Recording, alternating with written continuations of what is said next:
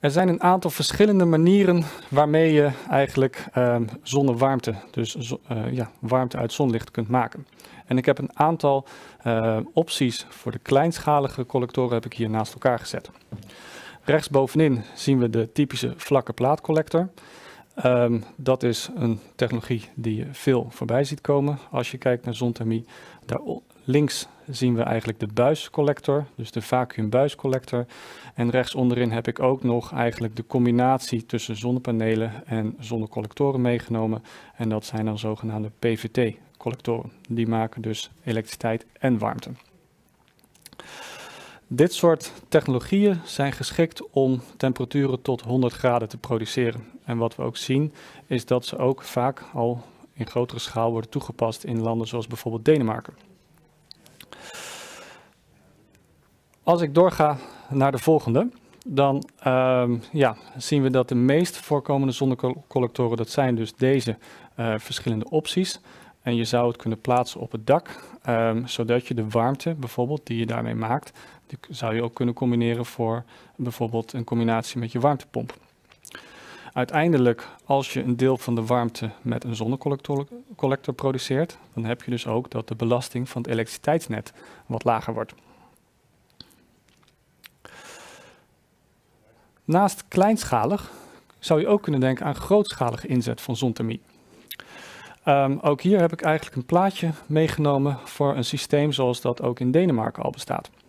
Wat we in Denemarken zien is dat het ook al hier op grotere schaal, dat bijvoorbeeld die vlakke plaatcollectoren worden ingezet.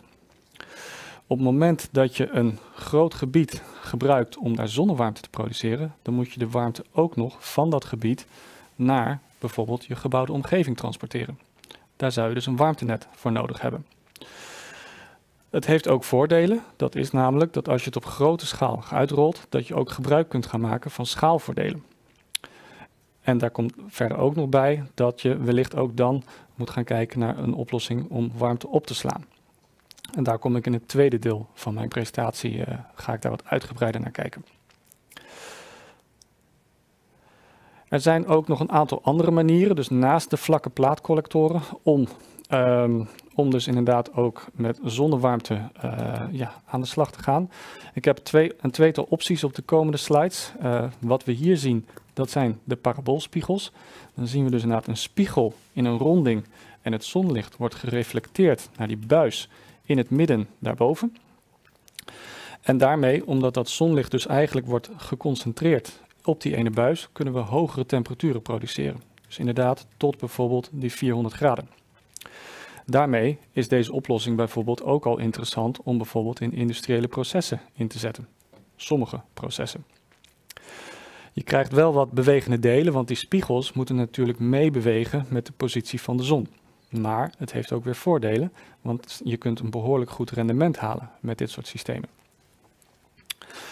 Je zou verder ook nog een combinatie kunnen bedenken van dus zowel de paraboolspiegels als de vlakke plaatcollectoren. Dus dat je eigenlijk verschillende systemen op een slimme manier met elkaar gaat combineren. Ik had nog een tweede aangekondigd en die staat op de volgende slide. Dat is namelijk nog een stap groter. En dan heb je dus grote cirkels met spiegels. En al die spiegels in de cirkel concentreren het zonlicht op één centraal punt in het midden. Dat is eigenlijk de top dus van de toren die we op dit plaatje zien. Omdat al die spiegels het zonlicht concentreren op dat ene punt, kun je dus hele hoge temperaturen maken. Dus eigenlijk tot bijvoorbeeld wel 1000 graden. En dan kun je dus eigenlijk een heel breed scala aan ook processen kun je gaan, uh, ja, van warmte gaan voorzien. Dat is de proceswarmte. Um, wat we natuurlijk ook direct zien op dit plaatje, is dat je voor een systeem waar we hier naar kijken, dat je echt een behoorlijke grote uh, groot ruimtebeslag zult hebben. En daar komt bij dat je ook een zonnig klimaat moet hebben om dit systeem uh, nuttig in te kunnen zetten. Want op het moment dat het bewolkt is, dan hebben die spiegels natuurlijk iets minder of wat minder reflectie naar het centrale punt.